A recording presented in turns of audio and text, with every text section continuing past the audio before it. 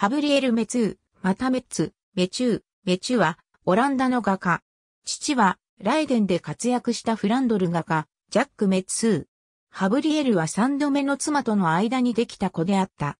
版画家のヤコブス・ホーブラーケンによると、初期の作品でこのことを裏付けるものはないものの、ヘラルト・ドーニエを学んだ。彼は、ライデンで、ヤンステーンや、フランスファミーリスから影響を受けた。メツーは、ライデンで画家組合の一員として登録された。1649年まで組合員であったことを示している。ライデンでは、メツーは朝6時に売春宿を出て、売春婦をアカデミーに連れて行ったことがあると言われている。1650年には組合としての登録をやめたようである。1653年にはアムステルダムへ移り住んだ。アムステルダムへ移る前、メツーはヤン・ウェーニクスとニコラウス・クニュプハーにより、ユトレヒトで絵画の要請をされた。メツーは自身で鶏肉を売るプリンセンレイクとの工事で暮らした。隣近所と揉めた後、毎日野菜市場の立つ運河沿いへ引っ越した。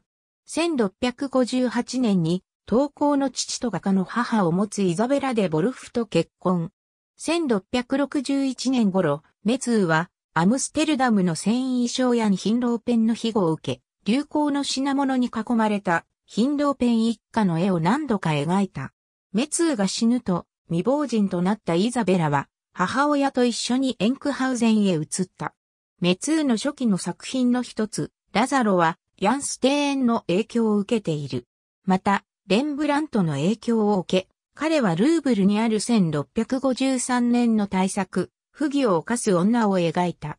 同じ頃に描かれた作品には、ハガルの出発、シュベリンギャラリー所蔵のカフの寄付がある。しかし彼はおそらく宗教的題材が自分の意に沿わないと気づいたか、より自分に合っている他の題材へ転換した。ある時彼はフランスハルスの魚屋にいる女でのロンズデール教の肖像から学んだ快活さと大胆な画法に深く感銘を受けた。メツーは、好んで市民の家庭生活から主題を選び、その新鮮な色彩感と穏やかで優しい画風のうちに素朴で優しい上司を漂わせ、親しみやすい作品を描き続けた。この画家の筆使いに関して18世紀ドイツの画家、文筆家クリスチャン、ルートビッヒ・フォン・ハーゲドルンは、17世紀オランダ派の画家であるヘラルト・テルボルフほど繊細ではないが、より柔らかいと評している。鳥売りオーク材の板に、